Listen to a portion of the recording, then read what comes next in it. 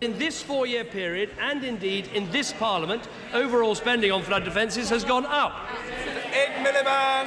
Mr Speaker, I'm afraid that the figures the Prime Minister is quoting are phony, and I believe he knows it. How is it that politicians are always able, as if by magic, to find statistics to suit their case? Revealing the Westminster Inner Circle's tricks, Newsnight presents to you Lessons in Illusion. The first trick is vanishing inflation.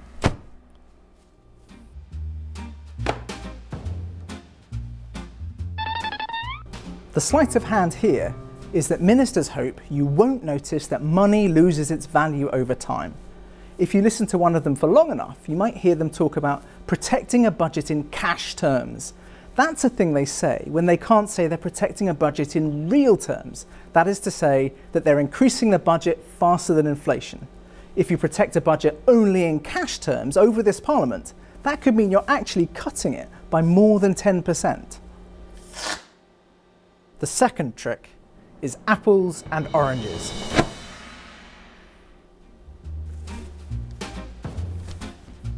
This piece of conjuring is very simple but very powerful.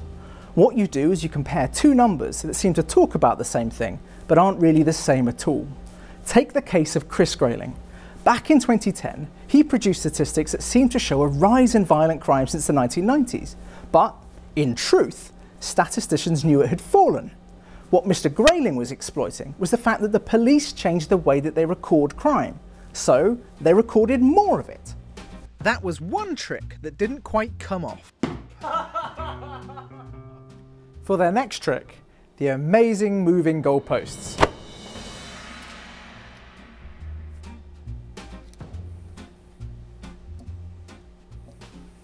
This is where governments just change rules when the data doesn't suit them. Take the case of Gordon Brown. He set himself two fiscal rules. Those are rules that are designed to show that he was a prudent custodian of the public finances. But when one of them, the Golden Rule, didn't suit him, he fiddled with how it was worked out and the definitions of the data, and then finally just changed the years over which it would count. For their next trick, junk research.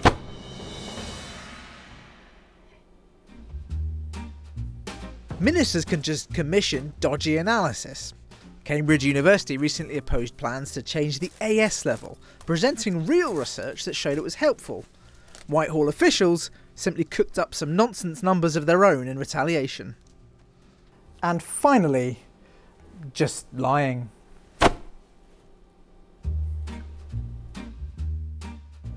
Well, you know how that works, but even so, they do a lot of it. Take the case of the Liberal Democrats who claim credit for a doubling of our offshore wind capacity since 2010. Well, that did actually happen. We have increased our offshore wind capacity, but it's all because of policies that took place under the last government. Everyone involved in politics says they want more evidence-based policy.